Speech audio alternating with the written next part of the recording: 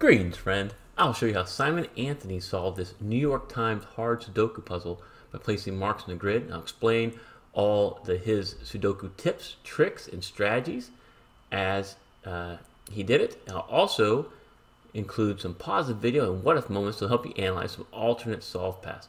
Click on the link below if you want to try the puzzle yourself. And with that, it's solving time.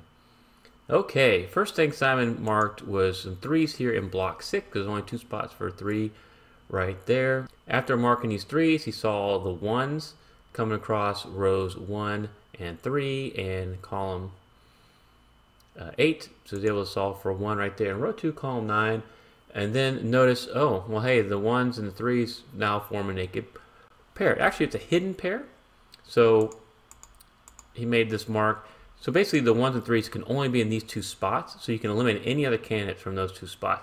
And that's really powerful when you can find these kind of pairs. And they're very common in like a New York Times hard Sudoku. After that, he switched over and looked at the fives and noticed that there are two spots for five in block six um, in rows. Uh, and then by doing that, he's able to solve for five up here in row three. So you see there's a five coming across row one, and then this fives are coming up column eight since this is a pointing pair of fives and they have to be in column 8 in block 6, uh, they can't be in these two spots. And so the only place left for a 5 is right there in row 3, column 7. And in case you're wondering, these little marks down here, they're called Snyder notation. And what it means is when there's only two spots left in a block, you'll mark those two candidates. So like this case, we marked the two fives. And so it's an easier way to notate very quickly. And once you solve one of these cells, you can quickly go back and solve the other cell for that candidate. Uh, Simon likes to use this quite a bit, and he's kind of explaining this as he goes because a lot of his uh, viewers are pretty new to Sudoku. And so after solving the five, uh, he made, he marked the two fives remaining here in block two, and then he goes down to block nine and notice there's only two spots for five down here because this pointing pair is still working hard to make sure there's not going to be any fives right there. Uh, then he starts to kind of look at the block 8, uh, and then he starts to look at how that affects the fives across column 5. And so you see this is kind of like a, wall Sudoku here, right? And so now if we look up column 5, where can a 5 be? Well, it can't be in row 1 because of this 5. It can't be in row 3 because of this 5. And it can't be in row 6 because of this 5. So Simon sees there's only one place left for a 5. And it's right there in row 4, column 5, which allows him to solve the 5 there in row 5, column 8. Uh, then he switches his attention to the 6s, and he finds uh, two spots for 6 in block 6 down here, because we have the 6 come across row 4, but there's only two spots left here, because these 1 and 3s, that can't be at 6 right there. And now these 6s are become a pointing pair as well, so they're going to come across here, can't be any more sixes in any of these two spots. You have the six in row four, and you have a six coming down column two. So only two spots left for a six, so he makes those marks there in block four. What Simon says is that these three cells here, this wall in block eight, is very powerful. So notice how the one comes down column four, and then also across row nine. And so it leaves only two spots for one here in block eight, right? And so now you have these are now pointing pair coming up, column six. Have the one come down there. There's only one spot left for a one here in block five. So he marks that one in row five, uh, row six, column five, which allows him to immediately solve this one here in block six and also solve for that three in row six, column seven. Uh, he takes that go, okay, you have a three here in row four and row six, so I can mark these threes there in block five. Um, then he changes his focus and finishes column five here. So there's only two spots left. So now you have a naked pair, right? And what are the two remaining candidates? Well, it's a seven and a nine. So he marks the seven and the nine up there. Uh, and now the seven nines can't be in any other spot here in block two, which is kind of helpful for us. Uh, and it allows him now to look down here at these twos and notices, okay, I have a two here in row three, row two. There's only one spot left for a two up here in block one. So he solves that for a two. Uh, then switches focus to the sixes and notices, hey, I have a six here in row one, row two, in column four. The seven and nine block the sixes right there in column five. So there's only one place left for six in block two. Uh, you know, and the twos, Simon could have noticed this right off the bat. Uh, you know, those twos were there since the beginning of the puzzle. He just had started focusing on some other things down over here in, you know, block eight, block four, and five. Um, but you can see, you know, just always move around the grid and kind of see where else can you can solve. So after that six, he now is focused and says, oh, I have a three, seven coming up here in column three. So he's kind of scanning down the column and says, okay, well, the threes and sevens are only limited to two spots in block one. So this is another hidden pair. Uh, and so now there can't be any other candidates there. It just has to be a three or seven. So you really want to mark those when you find those. Uh, and so what remains, there's only two more candidates left. And so those candidates are four and eight. So you mark that as a naked pair. So four, eight, naked pair. Uh, then changes his focus to the ones. And then it says, oh, I solved this one here in row five and in row six. And there's a one coming down column two. And so this can be one right here in row four, column one. And with that, he sees the ones in column one and two, and he marks the ones down in uh, block seven there.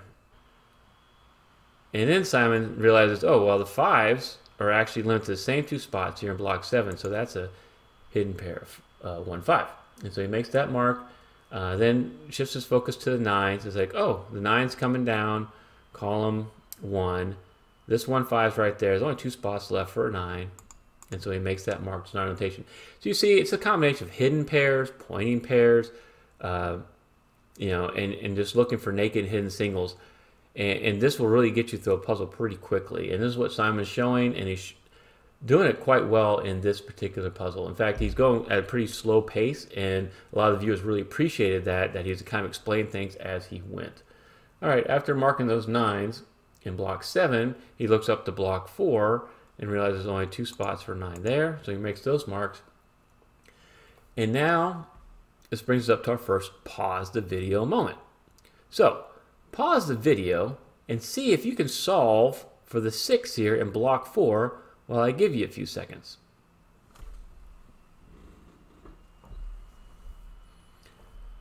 Okay, congratulations. If you spot it, you're getting really good at seeing these pointing pairs. For those who just want to enjoy the show, the 6 is right here in row 5, column 3. And the reason being is you have the 6 coming down column 2, 1 5 is right there, so that means the 6s have to be in these two spots here in block 7. So the 6s can't be there, they can't be there, and we knew there was going to be one of these two spots because this pointing pair of 6s, so we can solve for that row 5, column 3. So let's move on with our puzzle. So after solving that 6 in row 5, column 3, Simon marks the 9 in row 6, column 3, and then notices uh, that the 9s and the 3s are in rows 4 and 6, so you can make a hidden pair here of the 3s and 9s across uh, row 5 in columns 4 and 6. Uh, then looks down and says, okay, I need to mark some sixes down here in block seven. So he marks those sixes there because there's only two spots here in block seven. And then he's looking at a row five again. He says, oh, okay. Look, I have the six right here. What's left? A two and a seven. I see a two right there. So he can solve for the two in row five, column one. And then that means he can solve for the seven right here. And then he kind of uses terms, I'm going to unwind it. Since the seven is able to solve these cells up here. So he marks the 7 up there in row 3, column 1, and then the 3 there in row 2, column 2. And with this 3 coming down and these 3s in row 7 and 9, there's only one place left for 3 in block 7. So he's able to solve that for 3 and then solve for the 6 in row 7, column 1. And what Simon says is he makes us know, hey, when you're adding a new number, now see what does that do and what kind of markings do you need to make as a result of that number. And Sudoku guy actually will make that comment as well. Like look left, look right, look up, look down, what you got. And you want to look and see what you can mark. So he says, okay, I see a six here, then I see a six here, and he starts working his way across into block nine. There's only two spots for a six. So he marks those two spots for a six in block nine. Um, and now he's getting a little stuck here. And so Simon says, okay, I'm going to come back, and where I see just pairs, I'm going to make uh, marks. So now he's changing from Snyder notation to just marking up the finished pairs. But it really is Snyder since there's only two spots remaining for the 4 and for the 8 there. Uh, but keep this in mind that sometimes the marks are for pairs and sometimes they're just by cells and sometimes it could be um, uh, just Snyder markings. You have to keep track of that as a solver. Uh, then he kind of comes down and says, well, these fours are only limited to two spots now, so I'm going to mark that uh, these two spots are for four in block seven because he's kind of looking for some restrictions now in block seven. Uh, after that, Simon looks for a while and then he's able to find and solve uh, a hidden single. And it's a hidden single three across row three here. And you notice there's a three here, so it, can't, it can be a three. And this can't be a three, so he solves this for a three. And this brings us up to our first what if moment. So what if Simon didn't find this three? That wasn't really easy to find. He had to kind of change and shift gears there. What else could Simon have done to make some progress in this puzzle? And I'll show you that right now. So we'll take away, say he didn't see that three there. Uh, the next logical place he could have looked, instead of just looking at the three, is next door uh, in this cell, row three, column five. And remember, he made the seven, nine marking. He'd solved the seven, so he could have been able to just solve the nine right away and then solve that 7 right away. And then look and see what these 7s did. I have a 7 in row 1 and row 3. You come across, you could have solved this for 7. And now you can kind of look at maybe a, a couple different options of what to do next. One thing might be to kind of look here and go, hey, there's a 4, 8, and 9 missing in block 3. I see the 4 and the 9 right there, so that's an 8. Uh, another thing you could have done is maybe focus on the 3s now. Okay, now I see 3 and a 3 so this has to be a 3. And then this is a 9 and this is a 3. And you're going to make a lot more progress in this puzzle. So there was a couple of ways to to see that. And so you can see, you know, this is another method, another way you could have made some progress. So you always want to kind of look at what the marks are giving you and kind of look where you have the, the places of greatest restriction. So let's go back to the main puzzle. Okay, we're back to the original solve. He didn't find this 3 here in row 3 column 4. And after that, uh, you notice how it affected the 3s here in block 5. So the yellow solve for the 3 there in row 5, column 6. Uh, and of course solve for the 9 there in row 5, column 4.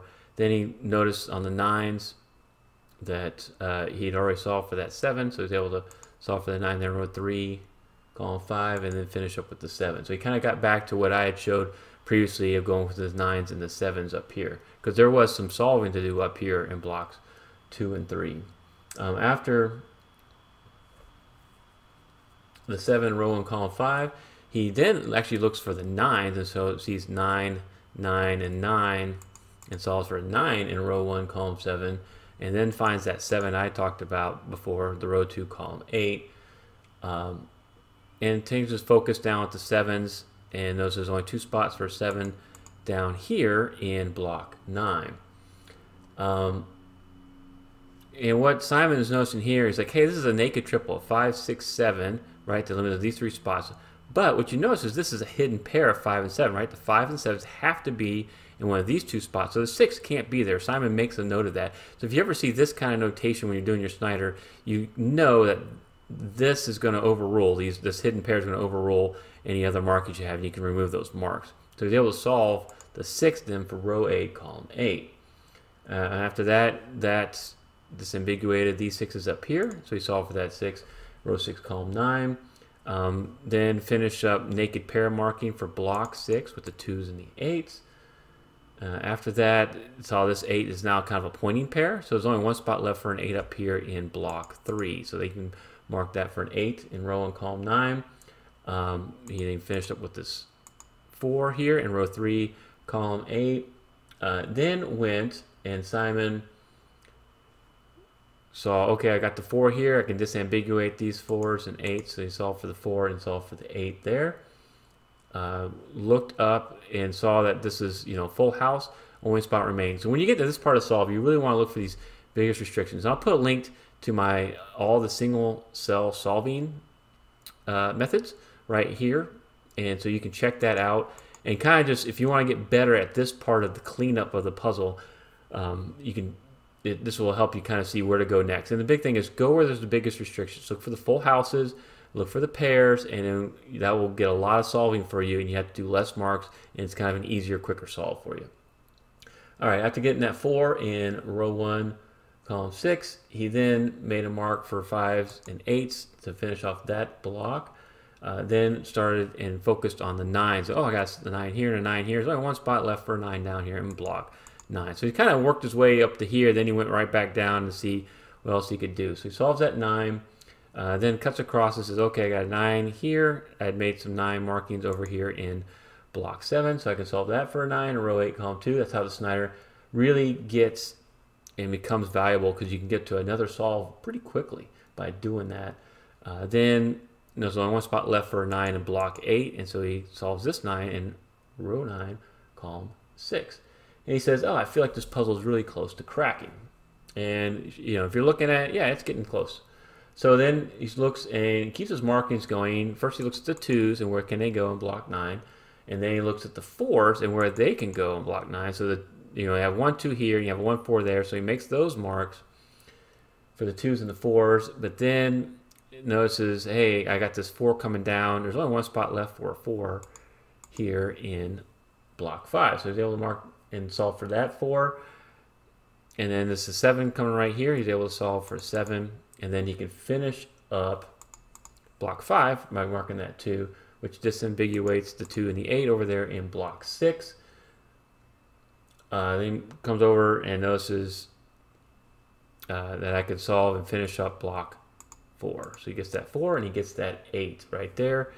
And now since he has the 8 here, now he can move on down to block 7, and he can solve for the 4 in row 9, column 1, and he made this mark for the 8 there in row 7, column 2, and then he marked the 8s over here in block 9. But this brings us up to our second what-if moment. Uh, what if Simon didn't make any marks here? Could you just solve the rest of this puzzle without making any marks? And I'll show you that right now. So if you didn't make any marks there, when you're getting, you can see how there's 1, 2, 3, 4, 5, 6, 7, 8, 9, 10, 11, 12, 13, there's 14 cells remaining. Uh, you could probably solve this without making the marks. First thing you notice is that 4 right here, you could be able to solve for that for a 4. And then that would be able, to, solve for 2 right here. You got the 5, 7 and you'd be able to solve for an 8. So all that could have been made easily without any marks. Then you could solve this for a 5, solve this for an 8, solve that for a 5. And I think from here, you'll notice that you could get through the rest of this puzzle pretty easily without making any more marks. And I would start with this 2 coming across row 8 and down column 6. But let's go back to the main solve because that's what I want to show you. So Simon did notice uh, you know, these eights right here, he marked those in blocks, nine rows, uh, eight, nine, column seven. But then he did notice that four, and so he solved for the four, of row seven, column seven, um, and went down and solved for the eight in row nine, column seven, and the two for row eight, column seven. I mean, like I said, uh, he didn't have to make those marks to do that. He kind of, kind of the path that I had showed you before. Uh, next thing you look for was this 2, like I said, come across row 8 and then down column 6. So you'll solve for that 2 in row 7, column 4, and then the 5 in row 9, column 4, which is what I kind of noticed as well. And come up here, and Simon likes to solve the other digit, like the like he doesn't come here and solve the 8. He'll solve the 5 and then the 8. And that's kind of peculiar, but it's kind of cool. Uh, you know, he kind of sticks on the same digit and it moves to the other digit. I find that interesting. Um, so he solved for that 8 in row 2, column 4, and then went down, and there's only one place left for an 8 here in block 8, so he's able to solve that 8 in row 8, column 6. Um, switch is focused into the 1s, and you, you kind of notice, all right, this is full house, so there's only one place left for a 1 in row 7, column 6, which helps them solve and finish off block 7 with the 1 and the 5 there, which helped them finish off the 5 and 7 over here in block 9. So he solved those. And then the last digit he solved was in row 8, column 4, which was a 7. Check out these other analysis videos where I look at some more of Simon's puzzles. Don't forget to buy me a coffee link. Thank you so much for watching.